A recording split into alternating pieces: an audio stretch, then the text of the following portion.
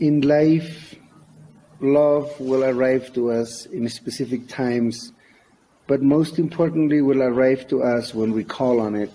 And when we call in love, we also need to be very clear. We need to be um, very uh, clear about our intentions of what we want to manifest in love, what we want more of, mm-hmm. such as, you know, communication, play, passion, that sacred fire, and what we don't want anymore, such as those challenging processes of, you know, betrayals, um, whatever intentional or non-intentional uh, hurt that can be created emotionally, psychologically in relationships. We can always say no more of those fears, no more of those hard processes, and we can always call on what mm. actually is part of our essence, which is to be in that passionate, sublime, unconditional love.